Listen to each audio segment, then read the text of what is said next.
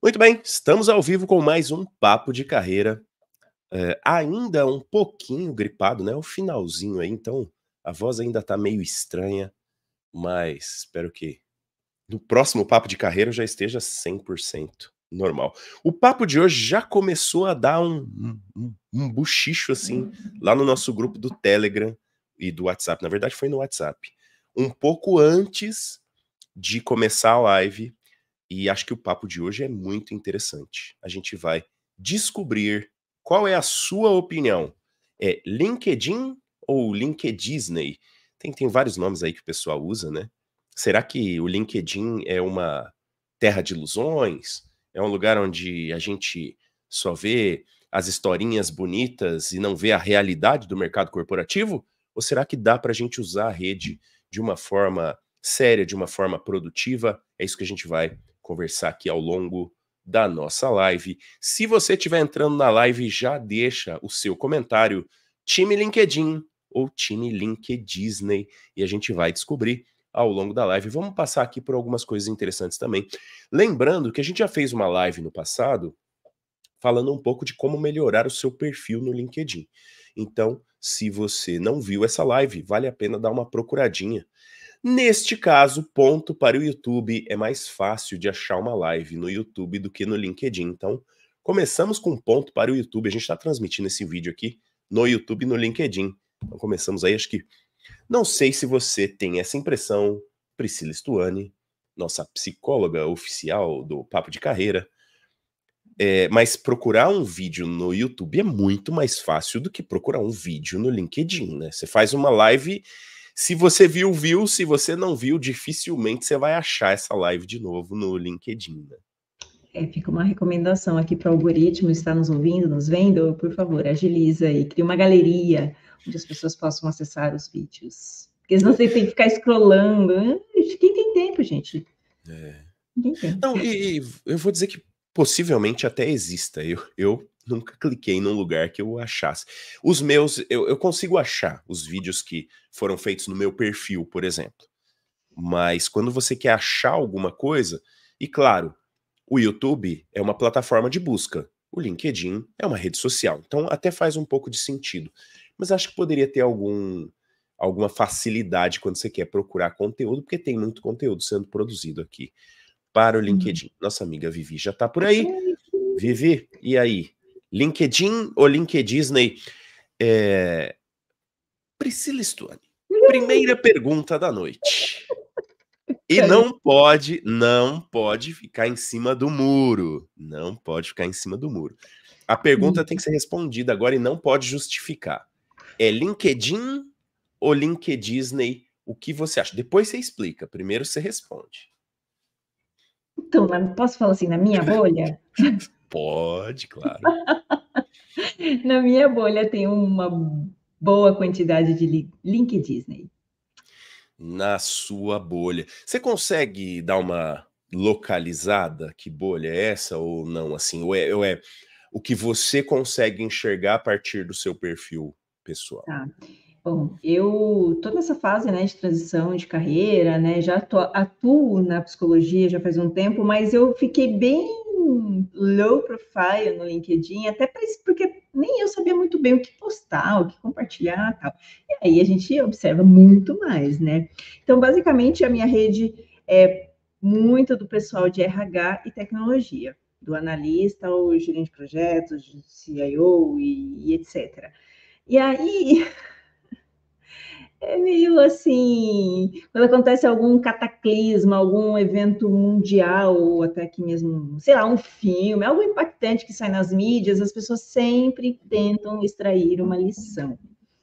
E aí talvez eu seja um pouco tóxica em observar isso, mas. Cara, isso te irrita, tem... né? Assim, eu, eu percebo. Porque assim, tem coisa que eu já falei para vocês aqui em outras lives, tem coisa que a gente precisa sentar e chorar, sabe? Sentar e chorar, beleza, dá aquele tempinho de recuperação, aí engole o choro e aí sim vê. Não, sabe, não dá, nem sempre tá tão evidente tudo de bom que você pode extrair de algo muito ruim que te aconteceu. E aí, Tem hora que é só ruim mesmo. E aí eu começo a ver assim, cara, beleza, essa pessoa deve ter muita resiliência, deve... mas aí começa a ver um padrão atrás do outro. Vai, nossa, mas aí? Aí eu fico meio assim, não me, não me sou, até porque eu já trabalhei com marketing de conteúdo, não me parece muito sincero, não sei se o termo seria sincero, mas assim, real. A gente quer ver coisas reais, mas lá parece que a pessoa fica torcendo para acontecer uma desgrasteira para ela tirar um aprendizado daquilo. Poxa. Ou inventa um também, né? Ah, então, Ou inventa uma desgraceira também para dizer que teve alguma coisa positiva, né? Ou não? Ah, é, olha aí o Fernando Marques, time LinkedIn presente. Ai, é... Conte mais, Fernando, por favor. Não, eu já, eu já eu tava esperando você falar, Pri, porque eu já tô gostando aqui, o chat tá movimentado já. Então, nossa galerinha já tá aí, ó, Vivi, Mônica, Samanta, Michele. Aí vem o Fernando também. E assim, o que, que a gente quer saber nesse comecinho aqui, enquanto a gente ainda não, não deu muitos nossos posicionamentos? Quer dizer, a, a Pri já, mas. Já me comprometi, eu, né? Não, eu vou, eu vou trazer o meu posicionamento também. Mas, é, assim, uhum. o que você enxerga, né? Você que está vendo aí pelo chat, o que você enxerga do LinkedIn? O LinkedIn é uma rede profissional muito útil, então tem um pouquinho de LinkedIn, mas é uma rede profissional muito útil, ou ela é muito mais LinkedIn e você tem que espremer para tirar alguma coisa útil? É isso que eu quero saber nesse começo de live. Uh, é o seguinte, na minha visão, tá? E aí eu vou fazer um pouco igual a Pri, eu, eu acho que é mais ou menos a mesma coisa. Na minha bolha, e depois eu vou explicar qual é a minha bolha. Uh, na minha bolha, eu acho que é muito mais LinkedIn. E não é para fazer média, não, com o LinkedIn. É porque eu fujo um pouco do LinkedIn. Eu fujo propositalmente que, que eu chamo de LinkedIn? O que, que eu chamo de LinkedIn no meu entendimento? Eu acho que LinkedIn é a rede onde você está lá para fazer networking, para você encontrar pessoas que tenham a ver com seu perfil profissional, que você consiga uh, encontrar pessoas para fazer projetos em conjunto, que você consiga encontrar pessoas para te ajudarem a responder uma dúvida, uh, para te ajudar a conectar com outras pessoas, enfim, é isso. Só que a minha bolha ela é muito particular. Por quê? Eu não adiciono, normalmente eu não adiciono as pessoas. No começo, no meu perfil, eu adicionava pessoas que trabalhavam comigo na mesma empresa. Então, eu tenho muita gente dentro do meu perfil que são pessoas que trabalharam comigo numa determinada época, numa determinada empresa. Ponto. Hoje em dia, a maioria das pessoas que está no meu perfil, ou que me segue, ou que está conectado, são meus alunos em plataformas onde eu dou aula. Então, a pessoa me conheceu pela Udemy, pelo próprio Office Resolve, pela Alura, pela Alura, Alura Latam. E estas pessoas que se conectam comigo, elas têm a ver com o meu dia a dia, com as coisas que eu estou postando e tal. Eu uso muito o LinkedIn para postar conteúdo. Então, no final, é muito mais conteúdo que tem a ver com o que eu estou fazendo no dia a dia do que qualquer outro tipo, por exemplo, essa positividade tóxica, né? De ah, você precisa ser um líder, blá blá blá, seja o fulano, não sei o que. Eu passo meio é, ao largo disso. Eu, eu não sou, dentro do LinkedIn, muito a pessoa que fica olhando postagens. Eu estou muito mais preocupado em compartilhar conteúdo. Então eu acabo não vendo. Mas vai lá, Pri, você é... pensou alguma coisa engraçada aí que eu já. Não, acho que essa atuação que você tem, eu sempre tive quando eu atuei em outras, em outras áreas, né? Então, assim, eu fiz é um duas transições de né? carreira, né? né? Aí você, enfim. E aí hoje eu já comecei, hoje não, já faz um tempo que eu vou lá em ocultar, porque assim, às vezes nem é a pessoa que eu sigo, é o conteúdo que ela curte, o que ela interage que aparece para mim.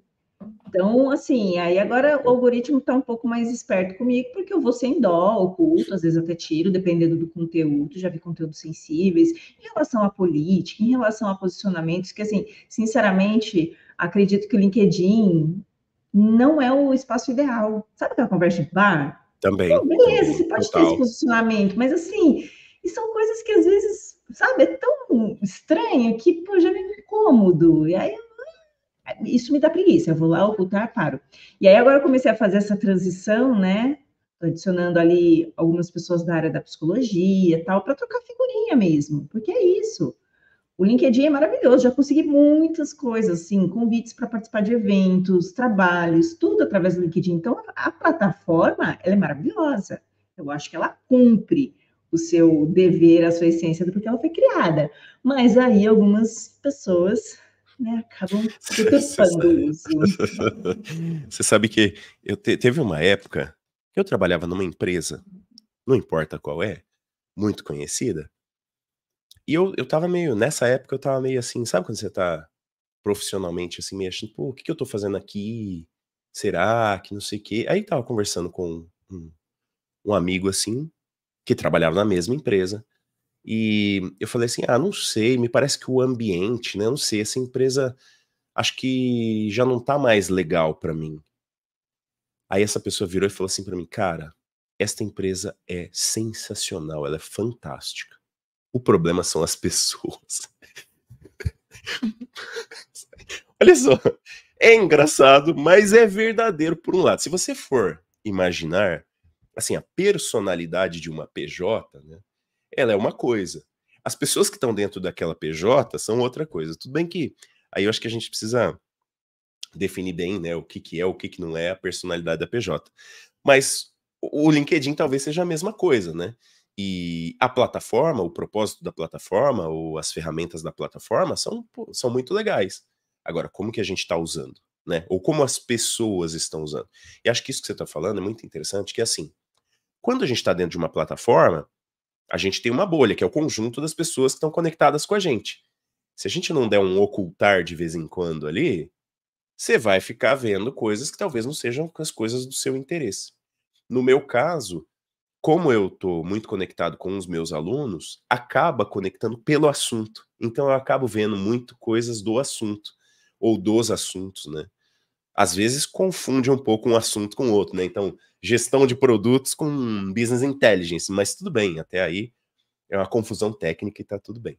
Vamos dar uma passadinha no chat aqui para ver o que está rolando aqui no chat. Penso que LinkedIn é uma rede profissional, portanto, é para se falar de assuntos referentes a trabalho, cursos, reconectar com pessoas, mas para este fim. Aí, a continuação: fotos de viagens e afim. Já tem outras redes como Facebook, Instagram, Zap, não é mesmo? Tem uma indireta aqui para alguém que a gente não sabe quem é, né? Mas eu concordo, tá, Vivi? Eu acho que a gente tem que separar as coisas mesmo. Justamente por isso, eu, particularmente, a rede que eu mais uso é o LinkedIn. Eu tô muito ativo no LinkedIn. Eu vejo postagens no LinkedIn? Vejo. Mas eu vejo muitas postagens relativas aos assuntos que eu estou trabalhando. A gente produz muita coisa no Office Resolve também. Agora a gente até deu uma parada. Mas então a gente acaba. É, qual que é a minha, o meu grande uso do LinkedIn? Comentar dentro das postagens do Office Resolve, é, comentar dentro das postagens das plataformas que eu trabalho. Então, por isso, para mim, a, a, sensação é muito positiva. Mas eu vejo, de vez em quando, umas postagens de gente comentando sobre política, é, falando sobre gostos pessoais. Aí eu acho que tem que, tem que dar uma, uma selecionada mesmo. Concordo com a Vivi. A Mônica disse: tem Disney sim, mas é a principal ferramenta de network, vagas, assuntos que eu quero aprender, etc. Tem um detalhe também, Mônica, e eu concordo com a Mônica também. Tem um detalhe aí que é assim: eu compartilho muita vaga. É, às vezes eu vejo alguém tá. Ah, tô compartilhando vaga não sei aonde. Aí eu recompartilho a vaga. Então, o algoritmo me, me mostra muita postagem de vagas. É uma é, é mais ou menos assim, né? Você compartilha um tipo de postagem, o algoritmo te recomenda aquele tipo de postagem. Então, cada vez mais começa a ser interessante se você interage com os conteúdos que realmente fazem sentido. Acho que você vai acabar tendo uma rede mais positiva. Mas depois eu quero voltar no seu tema lá de positividade tóxica, porque a gente tem que falar sobre isso. Eu uso muito para assuntos profissionais, artigos em sites, vagas, etc. Mas confesso que tem muito puxa-saco lá. Puxa-saco tem em tudo quanto é lugar, né? Então, é, já, já falamos sobre isso. Podemos falar de novo, não tem problema nenhum. E cuidado, porque às vezes, né, o puxa-saco mora ao lado. A gente também precisa tomar cuidado. Quando conhecemos. Ah, ó, isso aqui. O Fernando trouxe um negócio que é, é um tema para a gente falar mesmo. Quando conhecemos o coleguinha pessoalmente e no LinkedIn, que às vezes vemos um abismo entre o comportamento, acredito que lá a diferença entre ser e parecer fica muito aparente. Fernando, eu concordo. Olha só. A gente vai lá, né? Trabalha numa empresa, tem aquele líder tóxico, né? Líder não, chefe, né? Tóxico, que não tem a menor postura, né? Não sei o quê. Aí você vai olhar no LinkedIn. Eu, eu vou, vou, até dizer uma coisa assim, ó. A maioria dos chefes tóxicos que eu vi ao longo da minha vida não estão no LinkedIn, tá? Eu vou, vou, começar por aí. Então eu não tenho, não tenho tanta. Eu tive, vi muitos chefes tóxicos, chefes e chefas tóxicos e tóxicas ao longo da minha carreira. Mas poucos eu vi no LinkedIn se, assim, posando de bonzinho. Porque o chefe tóxico, normalmente, quando ele tá, principalmente quando ele fica muito tempo numa empresa, ele não tá nem aí para fazer network. Né? Ele não quer saber, porque ele se, ele se basta. Né? O chefe tóxico ele é tão autossuficiente que ele se basta. Né? Mas enfim. Mas tem mesmo a questão, por exemplo. Outro dia eu não, não lembro. Ah, agora lembrei. Com quem é, mas não, não vou comentar o nome, né? O tal do palestrinha. Pessoa, por exemplo, que você vê assim, pô, a pessoa que no dia a dia, aquela pessoa que fala, ah, isso não vai dar certo, nada dá certo. Ah, porque, ah, porque nada dá certo. Ah, porque é uma droga. Ah, porque não sei o quê. E no LinkedIn vira o palestrinha, né? Não, técnica não sei o quê, sensacional, blá, blá, blá, blá. Também tem, né, Pri? E aí, desses, esses perfis aqui, qual que você é identificado aí no seu, na sua é... bolha? Fernando é incrível, né? Enfim, é porque a gente já troca muitas figurinhas e o cara é muito coerente. É, eu, assim, vi poucas publicações, porque geralmente eu vou lá em oculto, né?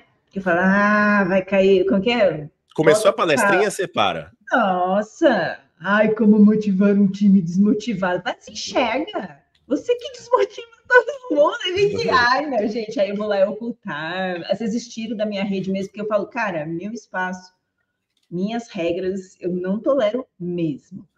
Agora, se é só blá blá blá, difícil hoje um conteúdo desse me pegar, viu? De tipo, deu.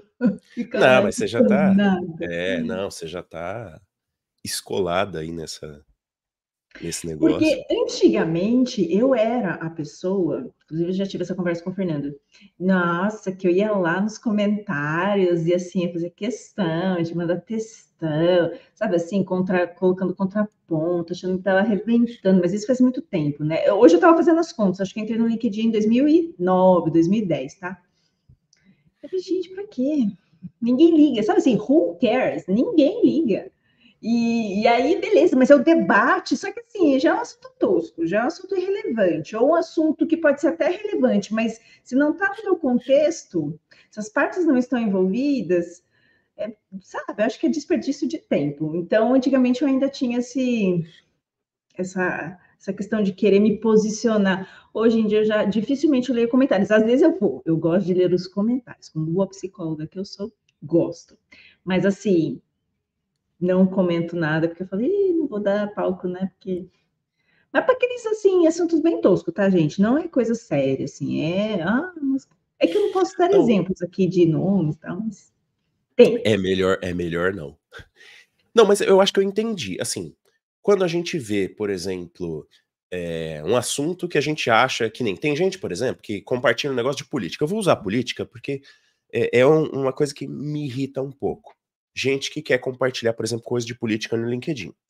Se você, se você que está assistindo compartilha coisas de política no LinkedIn, querendo, por exemplo, dizer que ah, mas o cenário macroeconômico tem a ver com né, o, mundo empresarial, tem a ver, mas a rede não é para isso, né? Não é para gerar discussão. E, mas eu também não me incomodo tanto porque eu nem vejo, o algoritmo nem me mostra, porque, né, eu não, eu, eu tenho eu tenho um conhecido que é muito envolvido nesse negócio de política e que posta algumas coisas. Postar, deve postar ainda, mas eu não vejo mais, pelo mesmo motivo. Então, eu não vejo. Mas tem gente, e é o que você estava falando, assim, tem gente que se irrita e vai lá no, no, no comentário. Esta rede não é lugar para esse tipo de coisa. Sabe qual é o problema? O problema é quando você vai lá e comenta essa rede não é lugar para comentário político, o LinkedIn entende que você está interagindo com aquele conteúdo e vai te mostrar mais desse tipo de conteúdo. Então, não é a melhor atitude. A melhor atitude é passar o mais rápido possível Inclusive, essa é uma coisa interessante. Eu acho que eu vi no Dilema das Redes faz tempo já. Se não me engano, foi no Dilema das Redes que tem, deve ter ainda no Netflix. Quanto mais tempo você para vendo uma postagem, o algoritmo entende que você está gostando mais daquilo e ele vai te oferecer mais daquilo. Se você passar bem rapidão, ele vai falar assim: não, não gostou. Não conectou com esse conteúdo. Então vai passar uh, e não vai ficar te mostrando outras coisas. Então, se você não gostou de um conteúdo, não vai lá e comenta: ó, oh, isso aqui a rede não é lugar para. Não, não faça isso. Passa direto. Passa direto. O mais rápido possível. Eu acho que eu ia comentar outra coisa, mas me, me fugiu agora. Ó, o Renato tá aí com a gente também. Fala, Renato. Demorou, mas chegou. A rede LinkedIn é como qualquer outra. Você deve filtrar as informações, daí você tem uma boa rede de networking. Muito bem. Eu trabalho cinco dias por semana, quase que oito horas todos os dias no LinkedIn. E no meu caso, é um mar de leads. Faço muitos negócios pelo LinkedIn. Muito bem, Renato. E é verdade mesmo assim, assim. A gente vê, né, o Renato bastante ativo no LinkedIn. Se você souber usar, e tem outra coisa também, né? Quando você usa muito para networking de um determinado assunto, o algoritmo ele vai te reconhecendo e ele vai te oferecendo conteúdos que fazem sentido para você. Mas eu quero voltar ainda, independente de ser LinkedIn ou LinkedIn, eu queria voltar porque o gancho da gente falar da positividade tóxica, eu acho que vale independente do assunto ser LinkedIn ou não, tá? A Michelle disse assim, ó, a questão não é a política, a questão é a defesa pelos políticos e blá blá blá. Eu gostaria de vir a algum lugar para debater as presepadas que há em Brasília e no Congresso. Deixa eu fazer uma, um link disso aqui que a Michelle falou com a neurociência, que é bem interessante. É assim, ó. A neurociência tem dito hoje em dia, então os últimos estudos, a maioria dos neurocientistas tem um certo consenso de que existem, bom, os vieses, acho que todo mundo já ouviu falar. Né? Vieses são formas do seu cérebro pensar ou agir que estão ali meio que automáticas. Quando você vê alguém dando é, razão para o que você fala, você se conecta automaticamente. Então, seu cérebro automaticamente ele vai dizer: pô, essa pessoa pensa que nem eu. Show, tamo junto. Paraíso, muito bom, legal.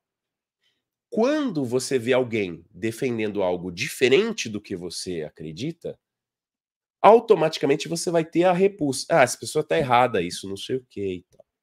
Se esta pessoa que pensa diferente de você começar a justificar e ela tiver bons argumentos, a primeira coisa que você vai fazer, que o seu cérebro vai fazer, é jogar esses argumentos na lata do lixo e falar isso não serve para nada. Dificilmente você vai conseguir mudar a cabeça de alguém. A menos que a pessoa não tenha um lado e ela esteja ali aberta para ouvir um lado ou outro, o que não é a maioria das pessoas. Então, por esse motivo, eu, por exemplo, é, eu, eu, ia falar um, eu ia falar uma coisa que é um pouco mais drástica. Mas eu, por exemplo, não interajo de maneira nenhuma com conteúdos de política. Vamos deixar desse jeito. É um pouco mais drástico que isso, mas deixa para lá. Vamos voltar um pouco no tema da positividade tóxica, o Pri, porque eu gostei quando você falou isso a primeira vez, porque às vezes a gente não se dá conta, né?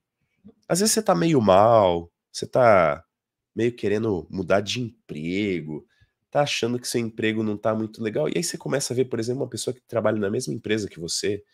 Nossa, que fantástico, trabalho numa empresa sensacional. Nossa, que legal, recebi o kit de boas-vindas. Nossa, que legal, eu participei de uma reunião, a reunião foi ruim, mas eu aprendi que isso e que aquilo. E aí você começa, você, você, começa a achar, não, eu, eu, eu, sou um merda, né? Porque, né? E aí? Digna de viver. O que, que a gente faz? Cara, só um comentário que você falou do negócio do kit. Lembra? Então, eu não sei se na minha rede parou de, Cuidado. de aparecer, porque eu. Não, porque eu ocultei tudo, porque enchi o saco, sabe? Aqueles kits maravilhosos kits mais humildes, mas na publicação da pessoa você percebia que ela estava extremamente assim maravilhosa. E aí eu adorei, eu não lembro quem foi o gênio que fez uma postagem no LinkedIn, mas ele falou assim: gente, para de compartilhar kit de boas-vindas, porque quando você for demitido ou demitida, você vai ter que devolver. Ué, ah, tem que devolver? Imagina um Mac de um trilhão de reais uhum. com a pessoa que não está mais na organização, né? Enfim, uhum. ainda que fosse um, um, outro computador.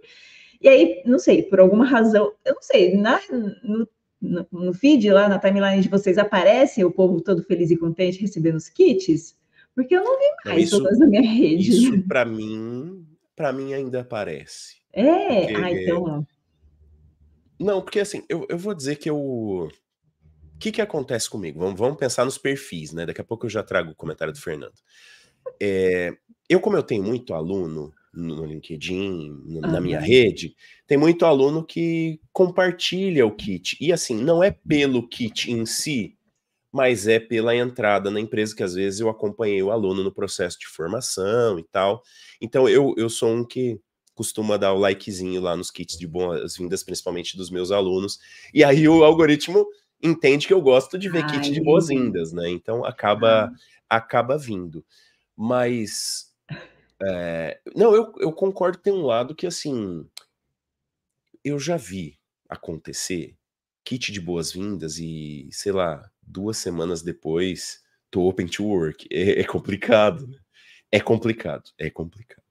Enfim, é, assim, também, eu não sei, porque os posts do LinkedIn, eles morrem tão rápido, né? Não sei também se, se é tão complicado assim, mas, mas tem, que, tem que tomar cuidado mesmo, né? Essa felicidade toda com o kit de boas-vindas. A foto do bombom em cima da mesa e o post de reconhecimento. É, to, todos os reconhecimentos são complicados porque, assim, você diz lá o melhor do mês, tem 300 que não são os melhores do mês e que estão pé da vida, porque aquele lá não era o melhor do mês, enfim, então também é complicado, mas aí você já não, O LinkedIn é maravilhoso para a gente fazer memes, né, vídeos engraçados, né, que tem uns, uns memes que eu amo memes, né, e aí o cara tá assim, bom, pessoal, é antigo, não, pessoal, parabéns, faturamos aí, tivemos um lucro de um trilhão de reais no primeiro tri, desse ano. E aqui está a demonstração do nosso agradecimento para cada um de vocês. Bombom. Era um bombom. É, é, difícil de acontecer, mas, gente. Mas, é, é, mas devia ser um bombom caro, né? Não, tô, eu tô brincando, tô brincando, tô brincando. Não, era serenata de amor, pior ainda. Olha só. Serenata de Amor já não vai patrocinar o nosso papo de carreira, tá vendo, Pri? Não pode. Não.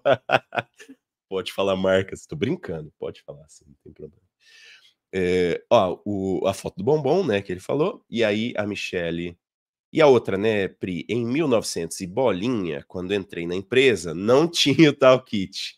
Já arranjei treta no fretado, porque sentei no lugar da panelinha. tinha kit. Então, assim, ela entrou, tá lá um tempão, não teve kit de boas-vindas. Agora, quem chegou tem. Que história é essa? Eu vou falar ah, um negócio. Eu, sei. Sim, tem algumas empresas. Eu tenho trabalhado hoje em dia para algumas empresas. Não vou falar nome de nenhuma, nunca falo.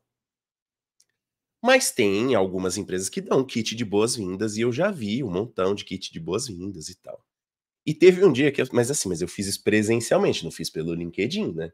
Eu estava presencialmente em uma dessas empresas e eu brinquei, falei assim, ó, podia mandar um kit de boas-vindas para mim também, né?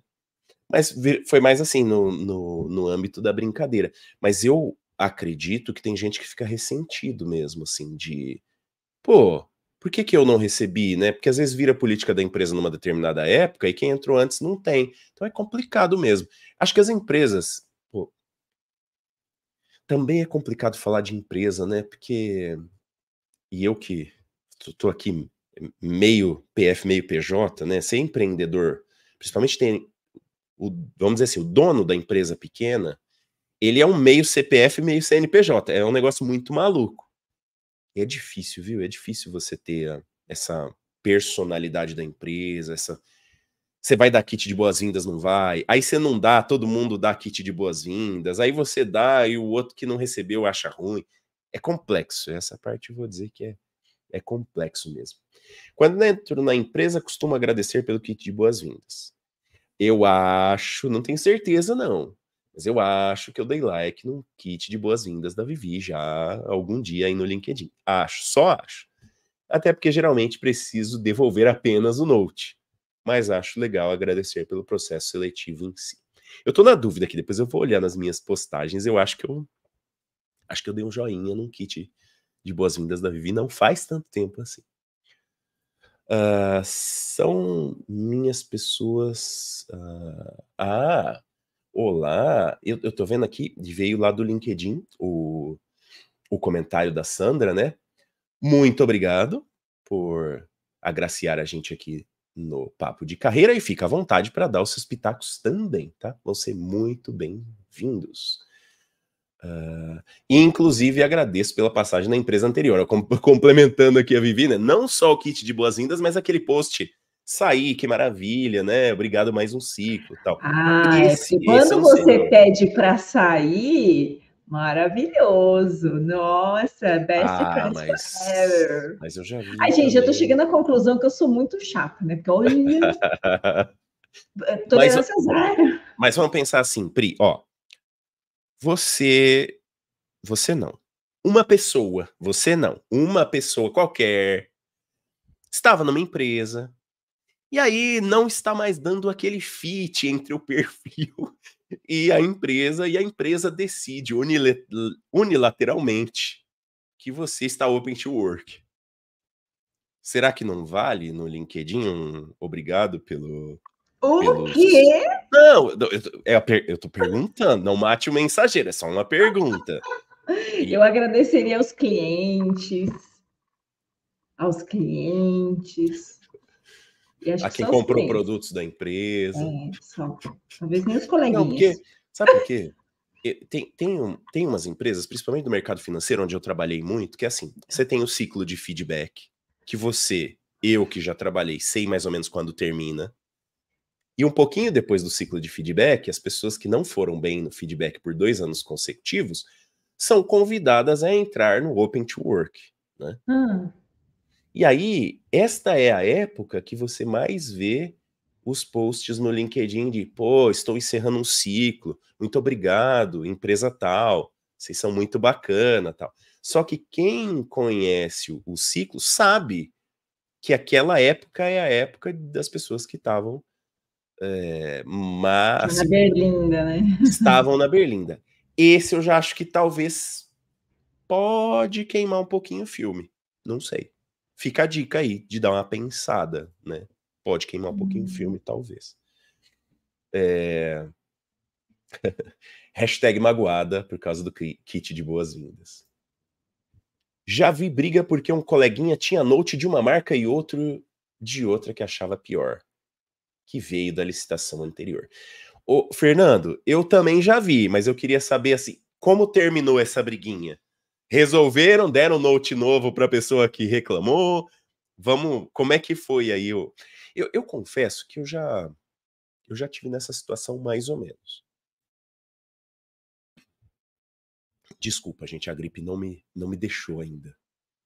É, mas, mas comigo aconteceu assim. Eu tinha um Note que era mais antigo, porque eu fui um dos primeiros a pegar Note, uma das primeiras pessoas a ter acesso remoto numa determinada empresa porque eu era de, de é, manutenção, não por nada, mas porque eu tinha uma história lá de é, revezamento de final de semana tal, então tinha que ficar com o Note. E o Note era bem capenga. E aí eles resolveram, na política interna da empresa, que todo mundo da TI ia ter Note. E aí compraram Notes novos para todo mundo. E eu fiquei com o Note antigo. Sabe, ó,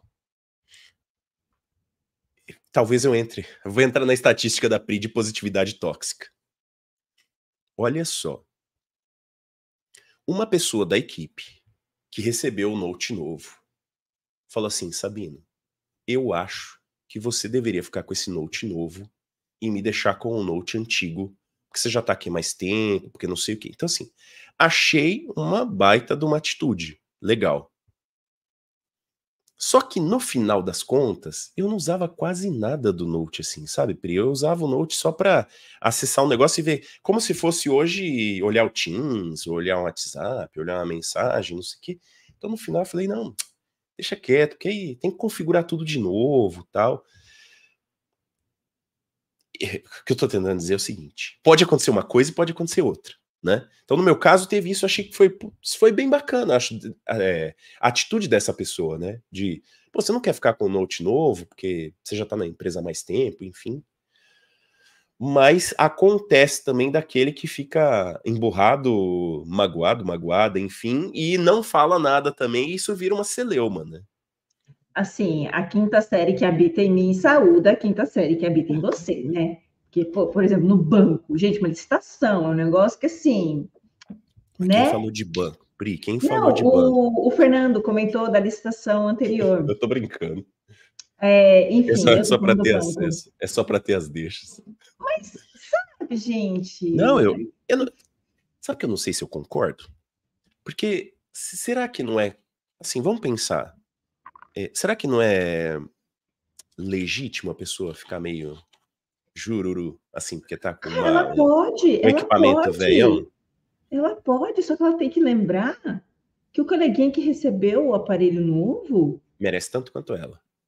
Assim, não tem culpa, não falou assim, ah, boa. dá pra, não, dá pra ele. Boa, boa. tem toda claro. uma dinâmica aí por trás, né? Talvez, sim. acho legítimo, sim, ficar chateado, pô, o computador caindo nos pedaços, mas assim, procurar a área responsável, faz ali um, uma solicitação e justifica o porquê você precisa trocar a sua máquina. Agora, ah, porque o meu coleguinha que entrou ontem ganhou um aparelho melhor do que o meu, pô, aí não dá, né? Ai, desculpa, gente, aí. Você foi muito madura agora, Pri, gostei. Às vezes eu passo agora... uma para Deus ver. Certificado de maturidade, Priscila Stuani. Muito bem, mandou bem mesmo. Uh, posto pedindo emprego e marcas. Ó, oh, Ô, Mônica, eu vou te falar que assim, ó, se alguém me perguntar antes de fazer o post, eu vou falar assim, não faça. Eu, eu não acho. Não acho que vale a pena. Mas eu tenho dúvidas. Porque eu já ouvi uma pessoa me contou que deu certo aquele negócio de marcou as empresas, a empresa falou, ó, olha o nosso site, aí não sei o quê, e no final acho que alguém viu e acabou dando certo. Mas é muito raro, é muito raro. Até porque as empresas, principalmente as maiores, têm processo seletivo, o processo seletivo tem que ter uma certa é, um certo equilíbrio, né, uma isonomia entre os participantes. Então, não acho que você. Eu não acho, mas é minha opinião pessoal. Não acho que você fazer um post dizendo empresas, estou procurando um emprego na área tal e marcar as empresas. Não acho que vai rolar. Não sei, posso estar enganado. O que, que você acha, Pri, desse post marcando um montão de empresas e falando tô aberto aqui a novas oportunidades? Hum, para mim, assim, pessoalmente, é um forte indicador de que a pessoa quer biscoito. Porque se eu já sei quais são as empresas que eu gostaria de trabalhar, e se eu vou listar elas, cara, eu posso ir lá no site dessas empresas, ver o banco de, de, de vagas, mandar o, o, currículo, entrar em algumas plataformas, fazer pesquisa para saber se essas empresas estão com vagas abertas. Ah, Tem outros assim, caminhos, né? É, efetividade, tenho as minhas dúvidas. Então, acho que seria muito, talvez, né? Muito mais direto você fazer isso. Eu teve uma aquela época lá que eu saí daquela empresa fatídica que eu tive lá uma explosão chacabum. É, do, do, aí fiquei uns meses, é, aí fiquei uns meses sem trabalhar. E detalhe, por culpa de um chefe brasileiro, tá? Não tinha nada a ver com os espanhóis, mas tudo bem. Aí fiquei um é, mas eu achava que era espanhol. Não. Acho que você falou e eu, eu perdi essa parte da história. Era uma é que a gente já falou, espanhola, a gente falou tanto dessas. É. Mas era um, um bolsal brasileiro. Aí o que acontece? Eu comecei a, a fazer estratégia. Eu falei, bom, acho que agora. Aí depois de uns dois anos, tô brincando, depois de uns meses, acho que eu tenho condição de tentar voltar para o mercado de trabalho. E eu fiz, gente, planilha, peguei as empresas, sabe? Pô, que área que eu quero trabalhar? Lógico, quando você está desempregado, a primeira coisa que vem, mas tinha que ter ali no mínimo uma abertura. Cadê o Sabino? E, é, e foi isso. Acho que ter esse trabalho estratégico de você procurar essas empresas, maravilhoso. Agora, ficar postando no LinkedIn, talvez se uma pessoa ou outra conseguiu alguma vaga através desse processo, que assim, imagina, quem fica geralmente no, no Instagram da, da, da, marca é a equipe de social. Deve Aí, ser imagina, muito a equipe de mesmo. social manda para a pessoa de RH. Ó, oh, isso, que, isso que você falou é muito importante mesmo. Eu vou dizer que eu acho que eu nem tinha parado para pensar assim, ó, nas empresas grandes, a pessoa que está lá na rede social não tem nada a ver com RH normalmente, né? É verdade. Muito bem lembra. Você está mandando bem hoje, hein, Pri? Muito Nossa, bem. hoje eu tenho 10 para Deus ver. Ó, a Vivi tá confirmando que eu dei like no, num kit de boas-vindas. Né? Minha memória não tá tão ruim assim. Uh, aqui acho que eu já me perdi. O que, que é a Mônica? O que, que a gente ia falar de emprego pedindo? Lá, lá, lá. Não sei se. Eu não sei se ela respondeu o próprio comentário. Ah, é. Né? Mas eu vou entender que sim. Depois você, você comenta com a gente aqui, tá, Mônica? Se você também não concorda com estes posts marcando um monte de gente lá, tá? Uh, dependendo do motivo, é para pensar em agradecer. Esse também eu vou dizer que eu não sei, acho que eu viajei, mas é porque, assim, tem um detalhe aqui, né? A gente tá falando e o chat vai rolando, depois a gente vai no chat, às vezes a gente não, não pega exatamente. Ah, acho que era para falar dos agradecimentos de quando você sai da empresa. Não sei se é essa ah, tá. parte, Vivi. Pode ser, pode ser. Uh, Computador. Boa. Com. Ah, não, aí, aí Vamos, vamos falar português, claro, Fernando. Aí tá de palhaçada, né? Porque se é mais ou menos a mesma coisa, não tem por que arrumar briguinha, né? Então. Culpa de quem? Dos pais. Ah, Muito provavelmente sempre era... compravam uma coisa boa para um é filho e comprar para o outro. Eu não, ó, eu, não falo, eu não falo o nome de marca aqui normalmente, mas essa aqui eu vou fazer questão de falar, né? Provavelmente um era Apple e o outro queria a Apple também. Eu... Era um positivo acelerão. Não, é, não, aí não. Ele, ó, ele disse que ambos eram novos, só que de marcas de, com mesma configuração. Uhum. Não, eu não falo de marca, eu vou falar logo de duas, né? Não existe positivo com mesma configuração que Apple. Já vou acabar com toda a minha política de não falar de marcas aqui. Mas, é, assim, ó, só para deixar claro, eu, eu sou meio anti-Apple, tá, gente? Eu, eu, eu acho que é muito blá blá blá. Você paga 10 vezes mais por um negócio que tem o mesmo efeito. Já vou falar mais uma marca, do Samsung ali. Samsung e HP, para mim, dão de 10 em Apple, mas tudo bem. Não, não, não, vamos, não vamos entrar nessa, nessa celeuma aqui, né? A celeuma de hoje é outra. Uh, quinta série total. Uh, o post, né? Sobre o post lá pedindo pedindo passagem. O ônibus, metrô. É, mas quando para a mesma função a pessoa recebe um pior, é de ficar indignado mesmo. Ela tá mais ou menos concordando comigo aqui, né? A história que eu falei que assim é normal você ficar indignado, mas também aí a Pri já matou essa questão, né? Estamos falando de um olhar PF e sobre um olhar PJ. Boa pergunta. Gostei, aliás, da, da pergunta, que talvez seja mais difícil de responder. E aí, Pri, como você tem um pouco o viés de uh, trazer um pouco de informações sobre montagem de marca, enfim, não exatamente sobre necessariamente PJ, mas sobre uma visão de marca. O que, que você acha do LinkedIn neste caso? O LinkedIn, enquanto estratégia de employer brand, né? Ou seja, marca empregadora. Nossa, que bonito. Employer branding. Muito bem. Eu já estou trabalhando no hoje, inglês. Hoje está difícil. Mas assim, quando a empresa tem uma visão sobre qual é o papel dessa rede social para ajudar a divulgar o como a organização se comporta, eu acho maravilhoso. Eu aqui de fora, pessoa que estou lendo ali os comentários. Mas é, isso tem que estar tá muito bem amarrado. Né? A gente fala que as redes sociais, até usar a palavra que a Vivi usou, é a vitrine né, no caso o LinkedIn, é vitrine do que uma organização está fazendo. Porque esse efeito contrário também pode ser muito forte. Não, peraí, sabe aquela discussão da ah, missão, visão, valores só pregado na parede, aqui no dia a dia o chicote estala. E aí o LinkedIn, ele potencializa essa visão. Porque as pessoas que trabalham na empresa, olha lá, tá tirando print, cutucando o colega que está no presencial, olha lá, fala que apoia a mulher no mercado de trabalho. Aonde? Se tiver cinco pessoas para ser mandada embora, todas ali executando, tá, tá, tá, tá, quem que vai ser mandado embora? Aqui é um achômetro meu, tá, gente?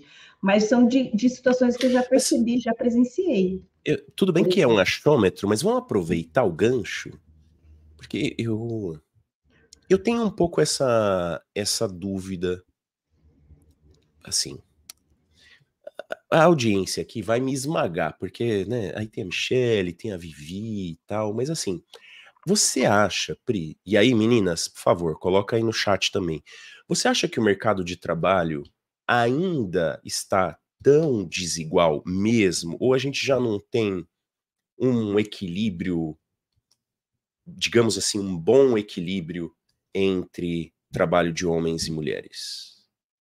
Quero saber sua opinião. Não, não, não, se preocupe com qual é a minha opinião, porque assim, eu tenho dúvida mesmo, tá?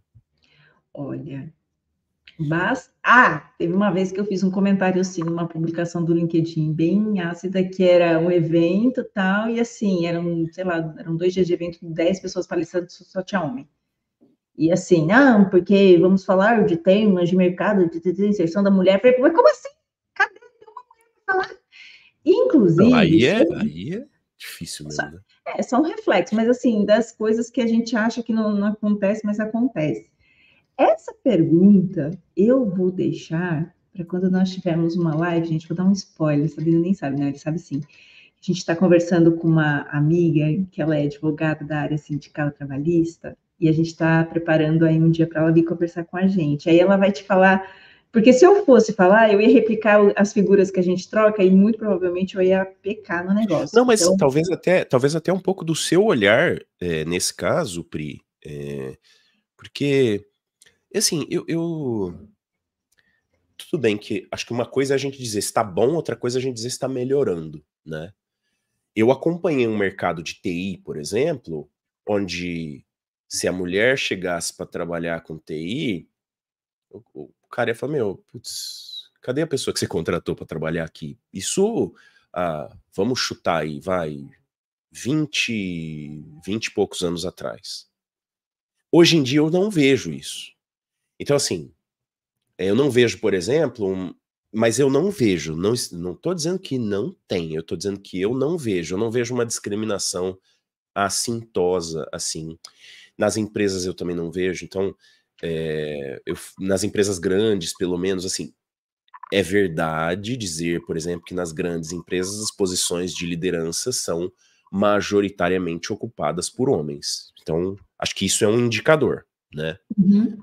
Mas eu não. Me parece que eu não vejo assim o, o a barreira tão clara, obviamente.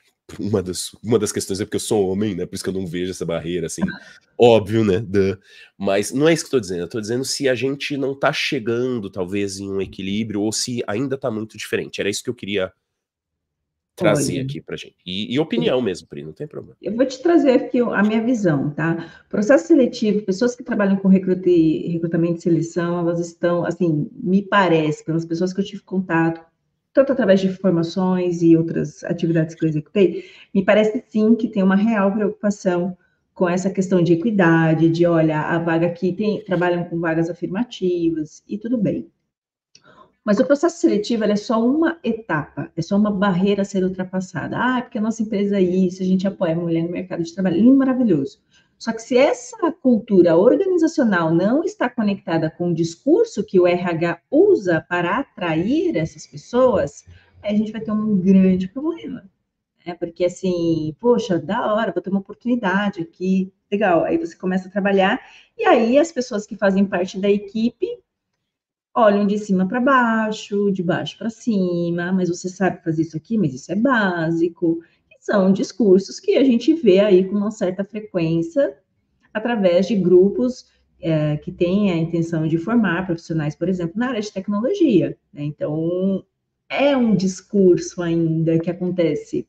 Talvez não, não quando eu trabalhei com RH, né, com gestão de pessoas, gente, eu tinha, acho que, sei lá, uma pessoa que era PMO para o resto tudo homem, e de grandes projetos de integração de bancos e não sei o quê, lá, lá, lá, lá.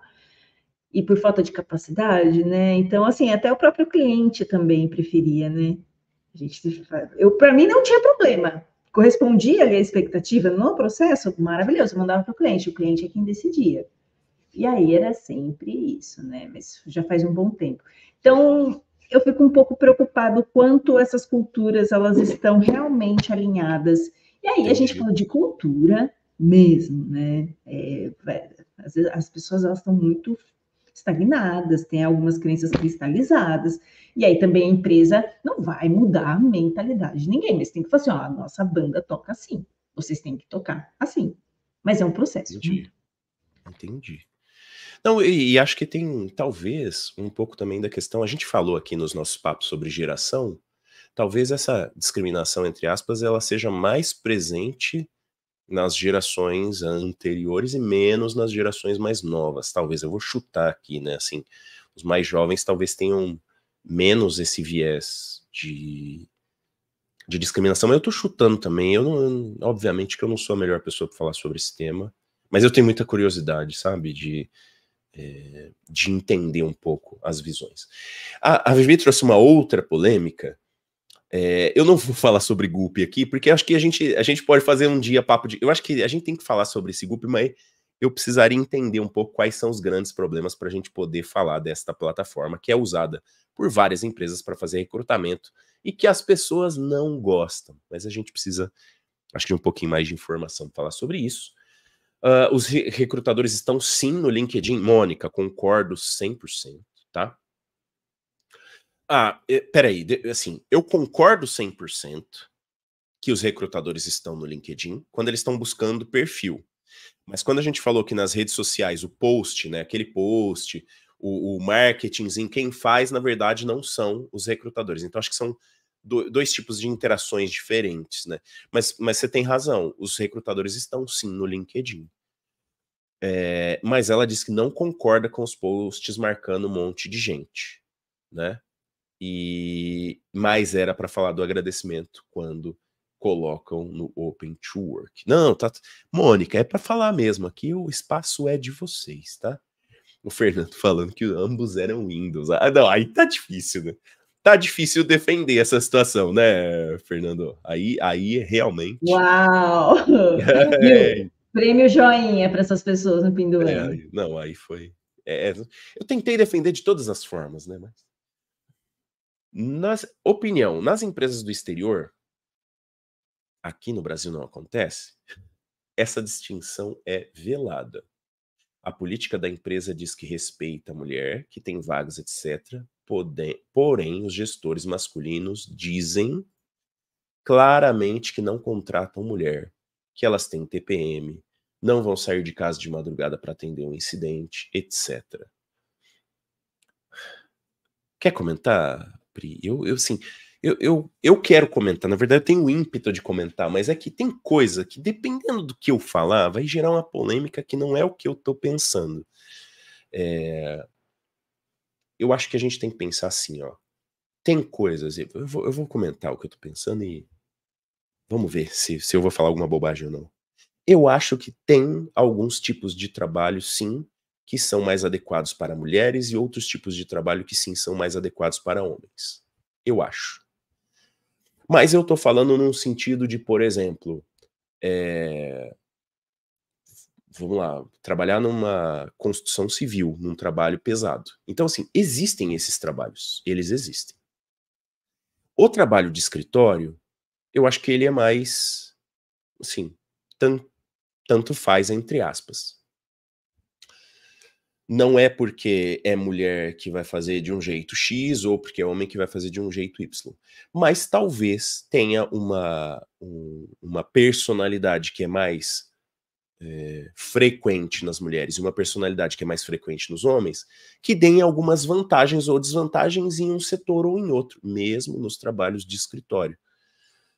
O que não quer dizer, por exemplo, que é, você vai ter mulheres que vão se comportar de uma forma muito parecida com o comportamento dos homens e o contrário também. Porque eu acho que varia de indivíduo para indivíduo. Então, assim, não acho que dá para fazer seleção por gênero em trabalhos de escritório. Começa por aí. Eu acho que não dá simplesmente para você olhar e fazer a distinção por gênero. Mas por personalidade dá. E aí a personalidade, você tem que conhecer a personalidade para saber. Se a pessoa é uma pessoa, por exemplo, mais arrojada, que se arrisca mais, ou é uma pessoa mais conservadora, que vai ter mais tato para fazer as coisas, talvez seja mais adequado para um determinado trabalho ou para outro. E na média, talvez um tipo de trabalho acaba tendo mais homens ou mulheres por causa disso. Porque, por exemplo, vou, vou tentar dar um exemplo, vou tentar me salvar aqui de, de falar uma grande bobagem. Mas, por exemplo, se eu fizesse uma descrição assim, ó. Um indivíduo pegou o carro de madrugada, em alta velocidade, foi fazer uma gracinha com o carro, perdeu o controle do carro, bateu num poste. Esse indivíduo é um homem ou uma mulher? Qual a maior probabilidade? o que, você acha? Nossa, o que, que você acha? Não, não, não, não. Você não, não vai responder? Eu respondo. Não. Eu respondo. A maior probabilidade é que seja um homem. É claro, é óbvio. Por que, que a maior probabilidade é que seja um homem? Porque o homem se arrisca mais. E a maior probabilidade é que seja um homem abaixo de 25 anos. Por quê? porque o córtex pré-frontal não está totalmente desenvolvido. É uma mistura bombástica, assim, ó, testosterona e córtex pré-frontal pouco desenvolvido. É uma, é uma mistura bombástica. Mas existe um traço de risco, de assumir risco, que é maior nos homens, em geral, maior nos homens do que nas mulheres. Não significa que não tem mulheres que tomam risco, mas em geral, se você pegar uma população de um montão de homens e um montão de mulheres, os homens têm uma tendência a assumir mais risco. É até uma questão hormonal, provavelmente. Significa que é melhor um ou outro? Não, é melhor o equilíbrio. O que a neurociência diz? As equipes de alta performance normalmente são aquelas que têm é, equilíbrio de gêneros. Então, tem homens e mulheres, justamente para que um possa contrabalancear o outro. Agora, assim, olha as estatísticas, gente. É sério, olha as estatísticas. Quantos acidentes graves de carro são causados por homens e quantos são causados por mulheres? É só olhar a estatística. Vai ter muito mais acidentes é, de carro graves causados por homens do que por mulheres. Por quê? Porque é uma característica do perfil, assim. Vai ter mulher, pode ter uma mulher que faça, claro que pode, mas não vai ser a maioria. É isso. Deixa eu ver o que, que tá rolando no chat, que eu, eu prefiro nem olhar, porque você começa a falar, eu já sei que vou falar um negócio que a maioria não vai entender, né? Uh, em meados de 19 comecei a perceber essa distinção, infelizmente. Então ela, ela ainda está falando da distinção de é, o, o, o, preconceito, né? O Rafael falou: eu trabalho em uma empresa de tecnologia, na maioria das vezes tive gestoras mulheres, ó que interessante, e com quase 50% de gestão femininas. Não sei se os locais que eu trabalhei fogem à regra. Legal, gostei do depoimento, né?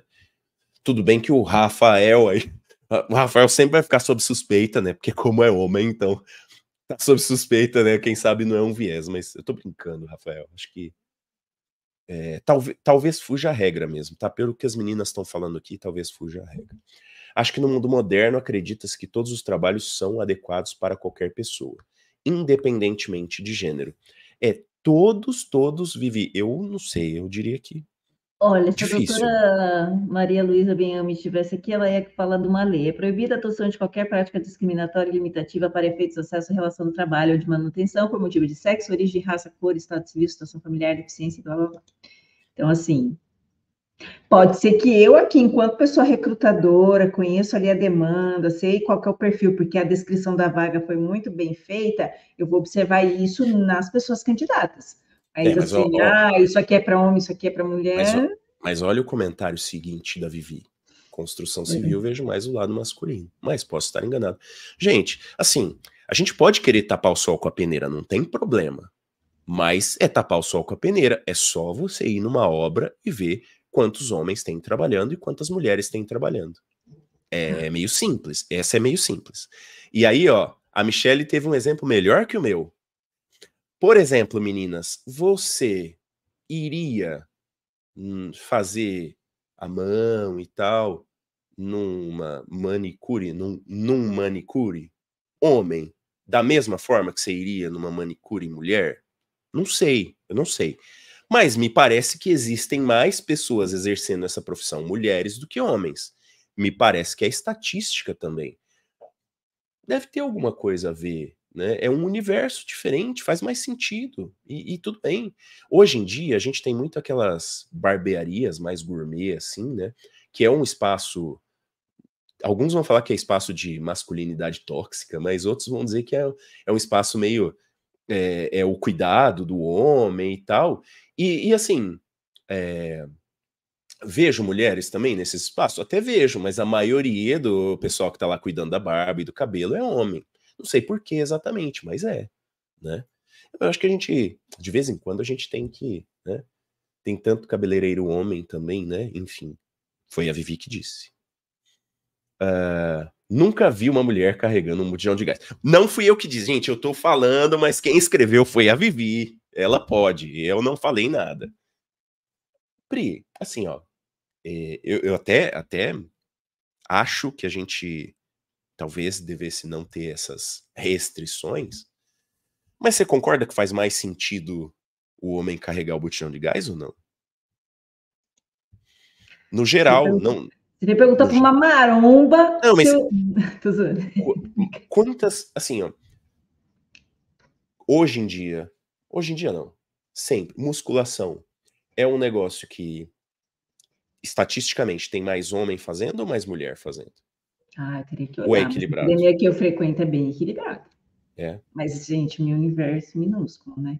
Mas, Não, assim, gente, por exemplo, teve uma viagem internacional que eu fiz, e aí era uma, não sei, pilota? Enfim, era uma mulher que, tava, que ia pilotar o avião.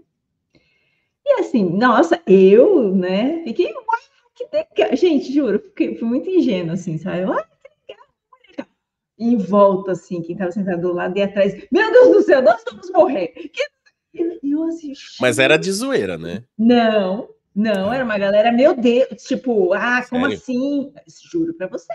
Ah, isso, isso assim, é, isso, isso eu já acho demais, assim, a pessoa chegar a pensar isso, eu já acho demais, é, assim. É, e aí eu assim, mas enfim, só uma experiência, assim, porque eu lá toda Não, é bom. Pô, que da hora, às vezes eu vejo, sei lá, mulher dirigindo caminhão, com coisa. Mulher dirigindo Isso tem bastante para falar a verdade. É, porque é. acho que tá, os espaços estão aí. A gente vem de uma construção social com muito machismo, com muito isso. Ah, isso é coisa de mulher, isso é coisa de homem. Isso é verdade. Então, na hora que a pessoa precisa trabalhar, às vezes ela perde essa oportunidade de, de sabe, ver se ela vai fracassar ou não, porque ela não teve nenhuma oportunidade, porque ela é de um determinado gênero, sabe? Então, essas conversas assim, eu fico um pouco preocupada, porque é um reflexo daquilo que a gente foi aprendendo ao longo da nossa vivência, né? É verdade, é verdade, mas assim, por outro lado, eu acho que se mantém um pouco assim, alguns nichos, né? Tanto nichos femininos quanto nichos masculinos. Eu, eu não sei se é, o problema, talvez, é quando a gente pega um, um trabalho que poderia ser exercido naturalmente por uma mulher ou por um homem, e a gente tenta fazer uma distinção. Eu, ó, eu particularmente diria se eu fosse pensar sobre o perfil para um piloto ou uma pilota de avião, eu, eu particularmente acho que o perfil feminino é mais adequado. Muito mais adequado. No geral, porque presta mais atenção nos detalhes, é mais cuidadosa, se arrisca menos, tem mais chance de fazer o checklist direitinho e não deixar passar nenhuma coisa. Eu acho isso. Mas assim, uhum. Obviamente que não dá para dizer que uma mulher vai pilotar avião melhor que um homem. Enfim, né? Uh, tirava o chapéu. É... a Michelle carrega, troca. É isso aí. Ó, oh, Vivi, isso vai mudar, hein? Tô de olho, hein? Não, é, cada um, cada um. Ó, o Fernando disse: o melhor instrutor de voo que tive era mulher.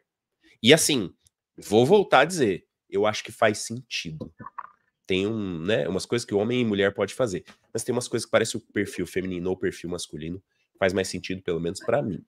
A Michelle achou. Foi na hora. Ela, ela escreveu isso aqui na hora que eu mostrei o negócio do João de Gás lá e você fez. Acho que foi isso. Muito bem. Uh, carregar ou não um botijão de gás depende da necessidade, independente. Não, eu concordo, Michele, concordo totalmente, concordo 100%. Mas o que eu, que eu digo é assim, ó, tem é, profissões que a gente vê na estatística e tem mais homens fazendo do que mulheres. É isso. Não, não é uma questão de eu achar que tem ou não que fazer, né? Mas de é mais fácil você achar um homem, por exemplo, trabalhando de entregador de gás do que uma mulher, por estatística. Por quê? Uhum. Porque tem na média, gente, na média tem uma diferença de força muscular e isso é ditado pela testosterona. É, é só a gente dar uma estudada. Gente... Então, se você vai lá e malha, não tem problema, você vai ter força, você vai carregar o seu botijão de Não, aplica testosterona, a galera que. Ah, é, não. Tem, é, tem a galera. Não, mas a, até aí tem até homem que faz isso, né? Só hum, sou totalmente contra essa ideia, né? Acho que não faz nenhum sentido é, só para deixar registrado, né, aqui no canal. Mas eu queria deixar claro, Michele, principalmente para Michele, né, não é uma questão de achar, não é muito o que eu acho, mas é que assim, quando a gente vê uma coisa que na estatística, por exemplo, babá, você contrataria uma babá homem numa boa? A pessoa pode até responder que sim na live para deixar tudo igual. Mano, a gente não tá acostumado. A gente não está acostumado. É estatisticamente um trabalho que tem mais mulher fazendo do que homem, e eu diria assim: a mulher tem mais aptidão para fazer isso, porque olha mais para os detalhes, porque cuida melhor, porque consegue ter uma delicadeza maior. Tem alguns homens que conseguem cuidar bem de criança? Tem, tem, muitos. Conheço vários. Eu cuidava muito dos meus filhos quando eles eram pequenininhos. Mas não é a maioria. Tem uns amigos meus que eu conheço que se deixar a criança os 15 minutos com ele sozinho, vai, vai perder a criança, enfim. É o. né? Enfim. Uh, Tati Piloto, todo mundo conhece essa Tati Piloto? É isso? Eu não sou eu que não conheço, não sei. É, agora acho que eu, bolha. É, é não, acho que agora eu, eu, eu perdi. E aí a Michelle falou: eu entendi seu ponto de vista com relação à estatística, mas nada de baba masculino. Babá. Ah, mas não, nada de babá masculino. Tá vendo? É, faz sentido, Michele. Assim, tá tudo certo, faz sentido mesmo, né? Eu não contrataria um homem como babá. E, e sim, gente, faz todo sentido. E não é nem por pensar em nada, sabe? Não, não vou além, não vou pensar em nada, né? É, errado, nem, enfim. Eu tô dizendo do cuidado mesmo, da condição de cuidar de uma criança pequena, principalmente de um bebê. Até porque não é muito o universo masculino. Embora não, não deva ter nenhuma discriminação. E sim, pode ser que tenha homens que cuidam muito bem de bebês. Sim. Mas, né, a gente acha que a gente tem que ter um pouco de. É, o olhar, ele não pode ser assim. Ah, homem e mulher pode fazer a mesma coisa, todo mundo é igual. Não, tem coisa que é mais. É, é, é mais pro perfil feminino, tem coisa que é mais pro perfil masculino, sim e tá tudo bem. Agora, vamos deixar claro o seguinte: dentro de um escritório, um trabalho intelectual, qualquer um dos dois pode fazer. E aí acho que não tem muita discussão, né? Não tem muita discussão no seguinte sentido. Aliás, para a gente finalizar, porque hoje, hoje a gente fugiu do tema bonito, né, Pri? E tudo bem, faz parte do nosso papo de carreira, né? Essa eu vou deixar aqui assim, ó, sabe que eu, tem uma coisa que eu sempre tive a impressão. Eu tive a impressão durante a minha vida, observando e pura observação, já que é para falar bobagem, né? Vou correr o risco de falar alguma coisa errada aqui. Eu tinha a impressão assim, que me parecia que a gente conhecia muitos homens com uma inteligência muito acima da média, e parece que tinha muito homem fazendo coisa muito estúpida, muito abaixo da média, e que, no caso da mulher, dava a impressão que se mantinha num perfil mais equilibrado. Eu não sei, assim, por quê? Provavelmente, historicamente, porque muitas mulheres não foram destacadas, porque no passado tinha discriminação, enfim. Mas a gente, se a gente for olhar, a gente fica um pouco com essa, com, essa percepção, né? Que assim, pô, os, os grandes gênios da humanidade, principalmente do passado, a maior parte deles são homens. E óbvio, por questão de que provavelmente tinha várias mulheres que não foram destacadas, enfim. Mas tem uma outra coisa que, que chama um pouco a atenção, assim, tem muito homem fazendo estupidez, assim, coisas estúpidas, que você fala assim, cara, é difícil, é difícil você ver uma mulher fazendo uma coisa tão estúpida, né? Eu não sei, eu, assim, eu pelo menos, às vezes tive essa impressão. Depois vocês me falam se vocês é, têm essa impressão também ou não. E eu ouvi um neurocientista, depois eu vou ter que trazer isso aqui. Eu vi um neurocientista falando num vídeo que as amostras de cérebro masculino que eles viram eram mais diferentes do que as amostras de cérebro feminino, que existia mesmo um equilíbrio maior. É, ou seja, o cérebro feminino ele parecia ter algum fator, entre aspas, de proteção para não ter tanta diferença assim um do outro. E uma das, das hipóteses era que tinha alguma coisa a ver com a descarga de testosterona que tem no cérebro masculino e que faria com que o cérebro ficasse ou muito de um jeito ou muito de outro, enfim. Mas eu achei, eu achei isso muito curioso, porque assim, na minha observação, pelo menos, eu, eu vejo, parece que tem muito essa essa diferença, diferenciação, e me parece que as mulheres têm um equilíbrio maior, assim, entre é, em, entre si, vamos dizer. Mas enfim, depois eu, eu busco isso daí, porque essa, essa é um, esse é um tema que está bem aberto e ninguém tem comprovação nenhuma disso, mas que eu acho curioso, acho curioso. Uh, vamos lá, Pri. E aí, para a gente finalizar aqui, vamos tentar voltar no LinkedIn ou não? Já, já passamos 10 minutinhos. Acho que tá tudo bem. Tudo bem fugir do tema, isso também, para mim tá tudo bem. Uh, sobre as questões da fuga do tema, vamos ver aqui, ó. Tem mais uma da Sandra. Também temos que destacar que muitas profissões mudaram com o tempo, sim. Por exemplo, no início do século XX, os médicos eram na maioria homens e agora está equilibrado. Aliás, não permitiam mulheres na faculdade de medicina. Tá aí uma outra profissão que eu particularmente acho que o perfil feminino é mais adequado. Mais uma vez. Talvez, assim, olhando por uma questão de pragmatismo, talvez para cirurgia, é, estatisticamente deve ter mais homens mesmo, mas para clínica, para uh, psiquiatria, para qualquer coisa que tenha um mínimo de envolvimento ali com entender a pessoa, eu acho que a, o perfil feminino é mais é mais adequado. Mas assim, eu tô falando minha opinião, gente, tá bom? É só porque acho que existe um algumas coisas que a gente realmente na estatística aí vai ver e, e talvez não, a gente não deve simplesmente ignorar isso. Uh, mas enfim, também acho que na maioria das, das especialidades médicas aí o perfil feminino funciona melhor, me parece. Fechamos, acho que fechamos, né? Hoje, hoje deu pano para manga. Acho que as polêmicas que a gente ia trazer do LinkedIn não, não fizeram tanta polêmica assim. Entramos numa outra polêmica que é pior ainda. Eu queria saber os, os comentários, principalmente para você que está assistindo aí depois, né? O, o vídeo gravado. Deixa para gente aí quais são os seus comentários. O que, que você acha dessa polêmica? O que, que você acha do mercado de trabalho? é, mulheres, homens, como é que tá? Tem discriminação? Não tem discriminação? Tem trabalhos que são uh, mais adequados para mulher e para homem ou não? Ou é tudo igual? E essa questão de estatística não tem nada a ver? O que, que você acha? Deixa aí para gente. Eu só para a Vivi, ó. Obstetra preferia homem, mas psicóloga mulher.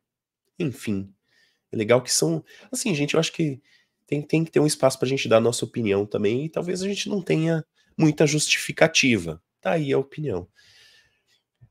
Você quer falar sobre o perfil de psicólogo, psicóloga, o que, que você acha ou não, Pri? Faz Olha, diferença? Acha que não? Na hora que a gente, vocês começaram, eu achava, quando eu estava na graduação, que homem tinha preferência em falar com outros homens, né? Psicólogos. E isso, assim, os meus colegas, que eram poucos, mas eu tinha alguns colegas, eles falaram: Meu, consegui paciente, tá difícil tal. Mulheres, sim. Mas os homens têm, né? Ah, homem tem de homem, né? Vai rolar. Não. Então, acho que para eles é bem desafiador, porque a gente pode atender crianças, a gente pode atender adultos, né, dos gêneros e tal, mas para os homens, e é, sei lá, eu me formei com, sei lá, 92 alunos, talvez uns 10 homens.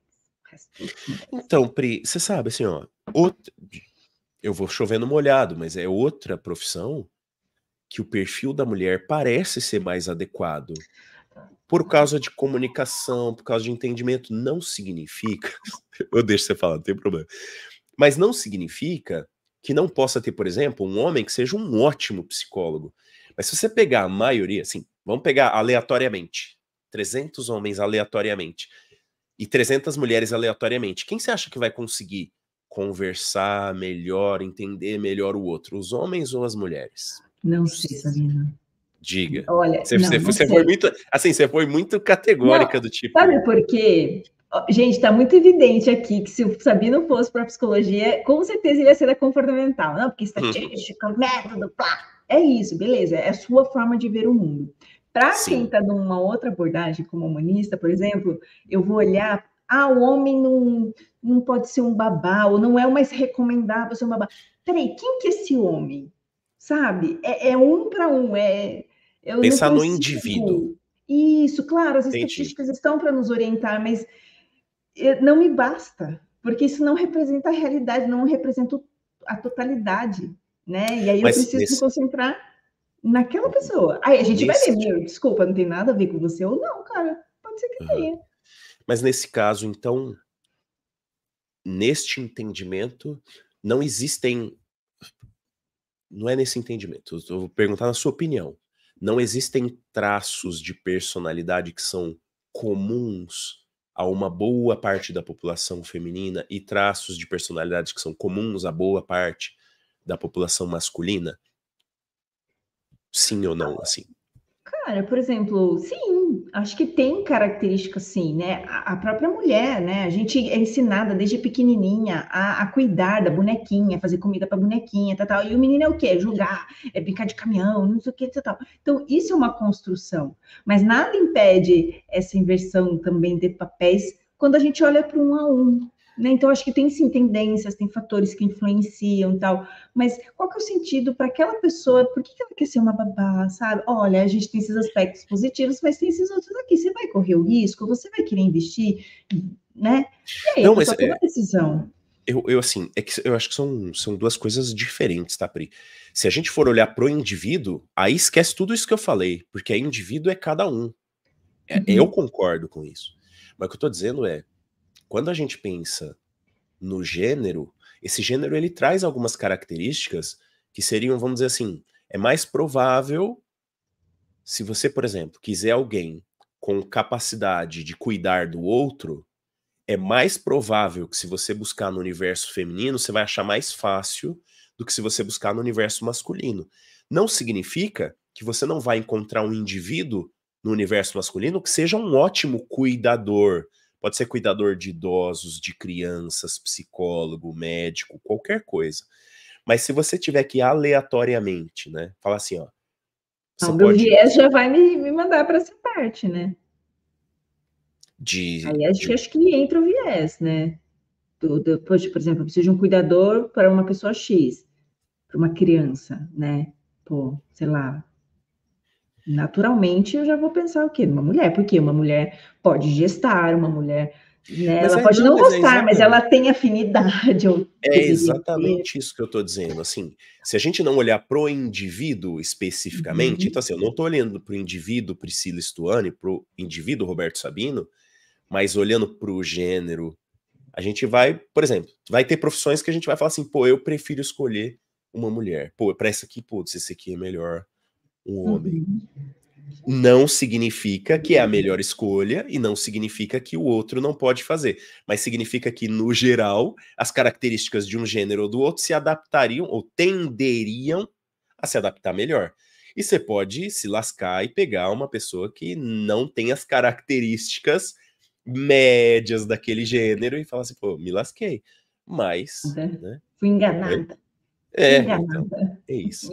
Pri, acho que tá na hora da gente terminar nosso papo, né? é, excedemos o tempo, fugimos do tema, então tá tudo certo, conseguimos nosso objetivo. Gente, obrigado pelo papo de hoje. Deixe seus comentários aí, o que você acha, a gente quer muito saber. É, compartilhe o vídeo para ajudar a gente a chegar a mais pessoas, dar aquele joinha, tudo isso é muito importante. Semana que vem temos mais papo de carreira, provavelmente aí com convidada, né, Pri? Então, quem sabe a gente não entra nesse tema aqui de novo. Vocês que mandam. Semana que vem a gente tá aí. Obrigado, Pri. Obrigado a todo mundo que participou. Até semana que vem com mais um Papo de Carreira aqui no Office Resolve.